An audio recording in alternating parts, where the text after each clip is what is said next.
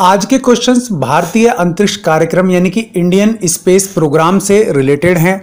और ये questions general knowledge में आरपीएससी में यूपीएससी में, सभी प्रतियोगी परीक्षाओं में सी टेट यूपी टेट में जो आपके एसएसटी वाला पार्ट है, उनमें इसके अलावा सभी टीचिंग एग्ज़ाम्स में आते रहते हैं। और काफ़ी सारे की क्वेश्चंस हैं, मैंने शामिल किए हैं इनको करने की। और जो पुराने एग्ज़ाम्स में आए हुए हैं, वो क्वेश्चंस काफ़ी हैं इसमें। तो पहले हम देख लेते हैं सारे क्वेश्चंस इनके आंसर अगर आपको आते हैं तो एक बार इनके आंसर आप देने की कोशिश करें। नहीं आते हैं तो कोई बात नहीं, वीडियो में मेरे साथ बने रहें। नीचे आपको इनके आंसर्स भी बताऊँगा, क्योंकि आपकी डिमांड थी कि सर आंसर्स भी हाथों हाथ बताते जाइए। तो यहाँ हम पहला क्वेश्चन देखते हैं, भारतीय अंतरिक्ष कार्यक्रम का जनक कहलाते हैं। तो इसका नाम अगर आपको मालूम है तो आप बताइए, नहीं आता है तो थोड़ा सा आप वेट करिए। Indian National Committee for Space Research का गठन कब किया गया? अगला सवाल है Indian National Committee for Space Research. किसकी अध्यक्षता में गठित की गई थी? भारतीय अंतरिक्ष कार्यक्रम की शुरुआत कब हुई? भारतीय अंतरिक्ष कार्यक्रम की शुरुआत कहाँ से मानी जाती है? थुम्बा अंतरिक्ष केंद्र को वर्तमान में किस नाम से जाना जाता है? देश का पहले साउंडिंग रॉकेट का नाम क्या था? इन क्वेश्चंस में से अगर एक भी क्वेश्चन आपको आता है तो कमेंट बॉक्स में आप दें। वीडियो के आगे बढ़ने से पहले इसका जवाब। नहीं आता है तो पेशेंस से आप देखें, मैं आपको जवाब दूँगा, क्योंकि काफ़ी सारे अच्छे की क्वेश्चन हैं ये। आठवां सवाल है, देश के पहले साउंडिंग रॉकेट का प्रक्षेपण कहाँ से और कब किया गया? नवा क्वेश्चन है, देश का पहला साउंडिंग रॉकेट कौन सा था, यानी कि इसका नाम क्या था और यह किस देश ने बनाया था? भारतीय अंतरिक्ष अनुसंधान संस्थान, जिसे आप इसरो के नाम से जानते हैं, उसकी स्थापना कब हुई? भारत में अंतरिक्ष आयोग और अंतरिक्ष विभाग का गठन कब किया गया? भारत में सैटेलाइट इंस्ट्रक्शन टेलीविज़न एक्सपेरिमेंट यानी कि साइट कार्यक्रम कब चलाया गया? अगला सवाल मैंने पोल में पूछा था, केवल तीन परसेंट लोग ही सही बता पाए तो भाई देख लेना एक बार अपना स्टेटस तैयारी का। भारत में सैटेलाइट टेलीकम्युनिकेशन एक्सपेरिमेंट प्रोजेक्ट कब चलाया गया? इसका जवाब मैं आपको दे रहा हूँ नीचे। अगला सवाल है, चौदह नंबर, सोवियत रूस की सहायता से भारत के प्रथम उपग्रह आर्यभट्ट का प्रक्षेपण कब किया गया? भारत के अंतरिक्ष कार्यक्रम का उद्देश्य क्या था? इंडियन स्पेस रिसर्च ऑर्गेनाइजेशन यानी कि इसरो का मुख्यालय कहाँ स्थित है? इसरो किस विभाग के अंतर्गत आता है? भारतीय अंतरिक्ष कार्यक्रम के इतिहास में सत्तर का जो दशक था, वो किस नाम से जाना जाता है? इसरो की व्यावसायिक संस्था का क्या नाम है? ये सवाल भी आ चुके हैं आपके सी एग्ज़ाम्स में। यूपी टेट में भी आ चुके हैं। आने वाले टाइम में आपके काफ़ी सारे एग्ज़ाम होने वाले हैं। डीएसएसबी के टीजीटी पीजीटी समेत बहुत सारे एग्ज़ाम भारतीय अंतरिक्ष कार्यक्रम के इतिहास में 80 का दशक किस नाम से जाना जाता है? इसरो के उपग्रह विमोचन यान कौन कौन से हैं? इसरो की दो प्रमुख अंतरिक्ष प्रणालियाँ, अगर आप जानते हैं तो बताइए। देखिए, आपको सवाल का आंसर आते हैं तो कमेंट में बताते जाइए। अगला सवाल, संचार, दूरदर्शन, प्रसारण और मौसम विज्ञानीय सेवाओं के लिए इसरो की अंतरिक्ष प्रणाली का क्या नाम है? चौबीसवां सवाल, संसाधन मॉनिटरिंग एवं प्रबंधन के लिए इसरो की कारगर अंतरिक्ष प्रणाली कौन कौन सी हैं? पच्चीसवा सवाल, भारत में निर्मित पहला संचार उपग्रह कौन सा है?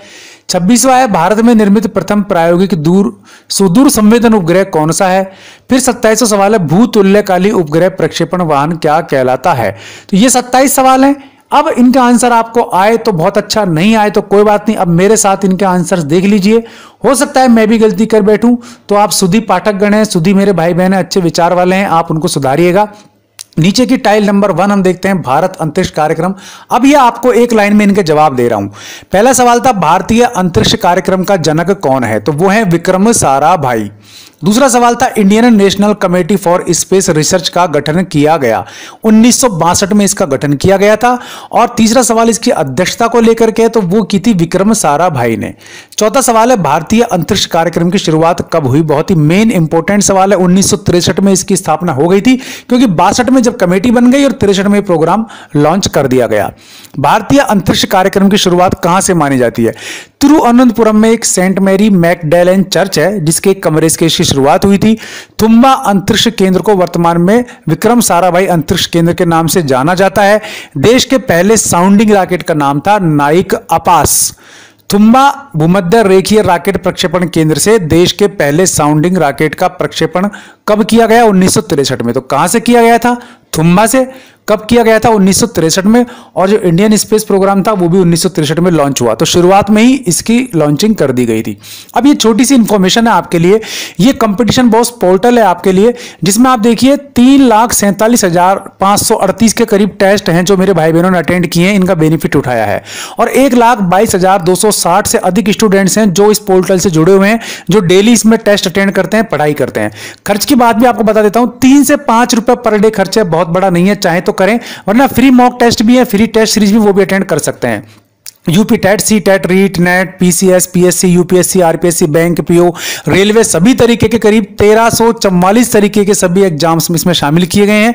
ठीक है, इसके अलावा state boards RBSC CBSE NCERT जितने भी बोर्ड्स हैं, उनकी जो क्लास है आपकी छठी से लेकर के बारहवीं तक, उनकी पढ़ाई भी आप यहाँ पोर्टल पर कर सकते हैं। सभी राज्यों की टेट की तैयारी भी आप कर सकते हैं। ये पोर्टल का नाम है H T T P S colon competition boss dot com direct डालेंगे तो मिल जाएगा, नहीं तो लिंक मैंने वीडियो को डिस्क्रिप्शन में दे दिया है, वहाँ से भी आप चले जाइए। अगला सवाल सवाल नंबर नौ। देश का पहला साउंडिंग रॉकेट नाई कपास था, मैंने बताया किसने बनाया? अमेरिका ने बनाया। भारतीय अंतरिक्ष अनुसंधान संस्थान इसरो की स्थापना उन्नीस सौ उनहत्तर में की गई। भारत में अंतरिक्ष आयोग और अंतरिक्ष विभाग का गठन हुआ था उन्नीस में, जिसमें से महत्वपूर्ण सवाल अभी आ रहा है। भारत में satellite instruction television experiment SITE कार्यक्रम कब चलाया गया? उन्नीस सौ में। तेरह नंबर सवाल है, मैंने आपसे पूछा था, देख लीजिए कितने लोगों ने सही जवाब दिया है। केवल तीन या चार परसेंट लोगों ने सही जवाब दिया है। भारत में सैटेलाइट टेलीकम्युनिकेशन एक्सपेरिमेंट प्रोजेक्ट यानी कि स्टेप कब चलाया गया? उन्नीस सौ सतहत्तर में। अब देख लीजिए कितने लोगों ने इसका सही जवाब दिया है।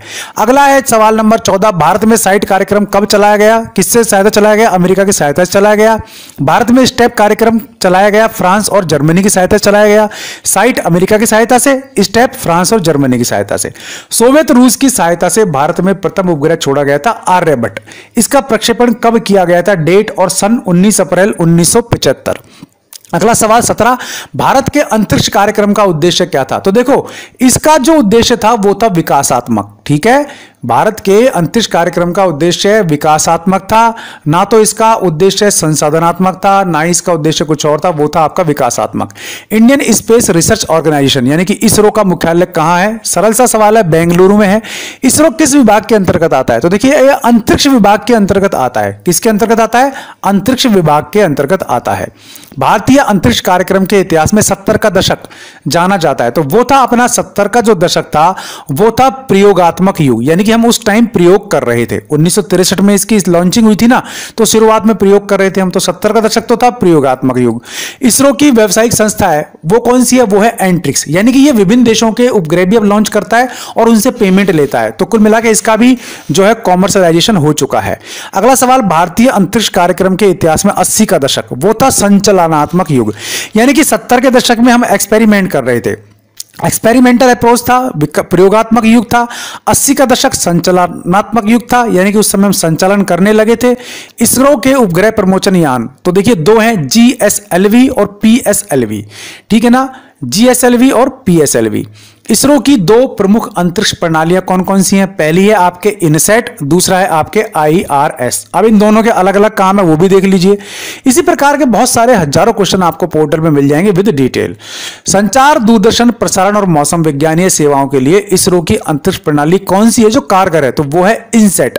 अगली जो है 26 नंबर सवाल, संसाधन मॉनिटरिंग व प्रबंधन के लिए इसरो की कारगर अंतरिक्ष प्रणाली, वो है आईआरएस यानी कि मैनेजमेंट संबंधी कोई काम है तो आईआरएस और यदि संचार, दूरदर्शन, प्रसारण, मौसम विज्ञान का संबंधी कोई काम है तो वो है इनसेट दोनों प्रणालियाँ अलग अलग काम की हैं। भारत में निर्मित पहला संचार उपग्रह, देखिए, भारत में निर्मित पहला संचार उपग्रह कौन सा है? वो है एप्पल अभी तक आप एप्पल उस कंपनी को जानते हैं जो मोबाइल फ़ोन वगैरह लैपटॉप वगैरह बनाती है प्रोग्राम बनाती है। लेकिन भारत में निर्मित पहला संचार उपग्रह, उसका नाम भी एप्पल था। एप्पल की फुल फॉर्म है एरियन पैसेंजर पेलोड एक्सपेरिमेंट फिर से सुनिए एप्पल की full form Ariane passenger payload experiment अट्ठाईसवा सवाल है, भारत में निर्मित प्रथम प्रायोगिक सुदूर संवेदन उपग्रह कौन सा है? वो है भास्कर वन। तो पहला संचार उपग्रह तो हुआ एप्पल और सुदूर संवेदन उपग्रह कौन सा हुआ? वो है आपके भास्कर वन। भूतुल्य काली उपग्रह प्रक्षेपण वाहन, यानी कि जीएसएलवी है ना? ठीक है ना? ग्राउंड सैटेलाइट लॉन्चिंग व्हीकल तो वो है आपका कौन सा? जीएसएलवी तो जीएसएलवी और पीएसएलवी का फुल फॉर्म क्या है? GSLV ground satellite launching vehicle PSLV polar satellite launching vehicle यानी कि ध्रुवों से और भूमि से।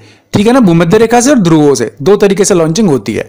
तो ये वही पोर्टल के बारे में आपको फिर से थोड़ी सी नॉलेज दे देता हूँ। भाई, आप इस पोर्टल पर अगर आप लिंक पर क्लिक करते हैं तो आप अच्छे से अपने सभी एग्ज़ाम्स की तैयारी कर सकते हैं। तो उम्मीद आपको ये वीडियो पसंद आया होगा, ये क्वेश्चंस पसंद आए होंगे। नहीं आए तो भी कोई बात नहीं, आपके काम के मन मार एक आप इनको पढ़ जाइए, आपके लिए काफ़ी यूजफुल रहने वाले हैं। वीडियो पसंद आए तो लाइक और शेयर ज़रूर कर देना चैनल पसंद आए तो सब्सक्राइब कर लेना।